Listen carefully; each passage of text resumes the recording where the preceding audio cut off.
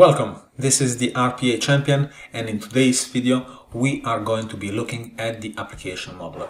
So you will learn how to use the application modeler, how to connect to web browser application. There is a lot to say about the application modeler, but in today's video you will just get an idea of how it works. So the first thing that we need to do is create an object. Let's give it a name So we will create an application modeler that connects to an internet application or to a web browser. So let's open our process, uh, our object, and let's click on the application modeler. Let's make this bigger. So we are presented with three options. The first one is to create a new application modeler with a name. We can either get an application modeler from a previous project or we can also choose not to use the application modeler with this project. Let's go with the first option. So as we said, we are going to connect to a uh, web browser. Since we installed the extensions for Chrome and for Firefox, we uh, we have this choice that we can select Chrome, Firefox, and Edge. Otherwise, there would only be the option for Internet Explorer. So you can also uh, create an application model for Windows applications. So for example, you wanted to integrate with a local application like the calculator or any other application that is installed locally, a Java-based application, web browsers, or a mainframe application. A mainframe application is like a DOS screen application. We will get into those. Those are a lot of fun also. So let's select browser. I will be using Google Chrome. So now uh, we have again two choices. We can choose either a browser that is open already or we can launch the browser from the executable file. This means that every time that we trigger our application, it's going to be launched from the executable file. So let's select launch from an executable file. And now let's put in the file, the file path to the executable process of Google Chrome. So I have already copied the link to the executable file of Google Chrome and I will paste it into this box. Now you can also search for the for the application that you want to execute by going into browse. Let's click next and here we can put in the URL that we want to uh, visit when we launch Google Chrome. So again, here I will paste the Google link and let's click finish.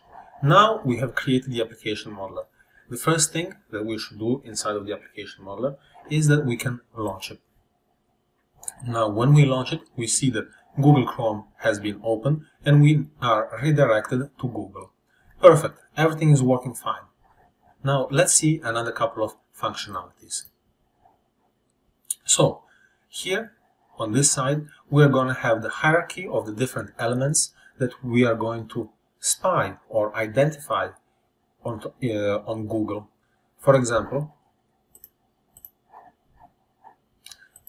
let's identify as as you can see when I click identify I'm presented with different uh, different boxes that are highlighting different elements on the on the window. Now if I click control and click on any one of these elements uh, Blue Prism is going to capture it and it's going to allow me to interact with that element.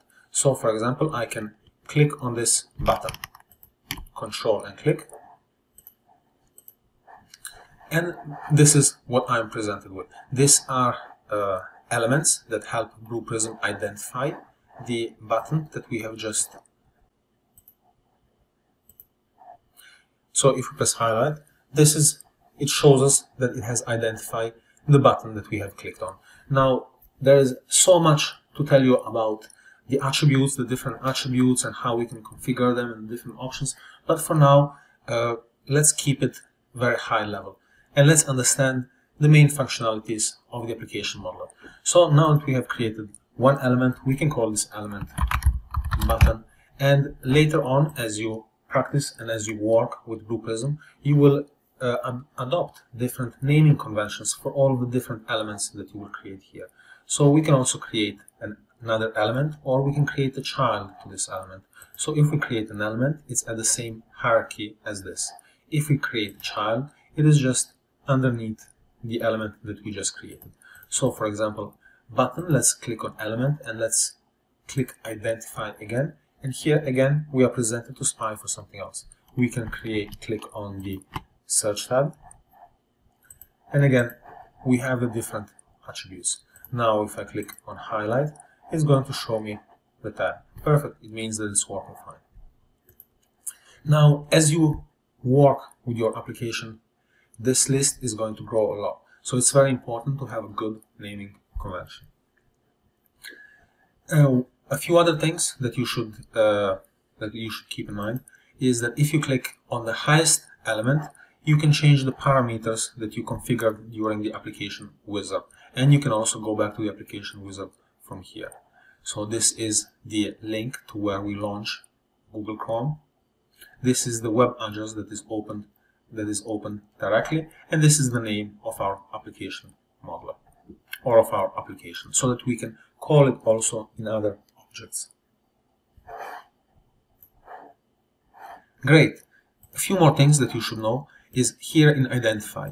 Usually to spy elements we click on just identified and we spied the elements via the browser way. You should know that there is different different spying spying methods in Blue Prism. I'm circling right now to the different methods by hitting Alt, but we will get into each one of these methods in a dedicated and a separate video because there is a lot of information about them.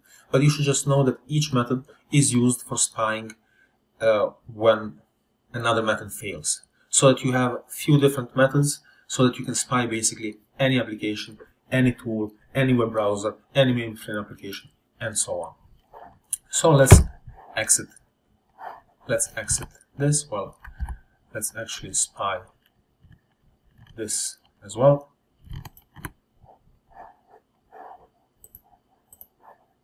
Perfect. And let's highlight to make sure that we have it. Something's not working. So in this case, I would have to work on my web element to make sure that uh, why it's not spying. But this is not the objective of the video. So uh, I want to show you that you can also spy the different elements via the application navigator. So the application navigator is going to give you access to all the different elements on the page. So we could search for the different elements. So for example,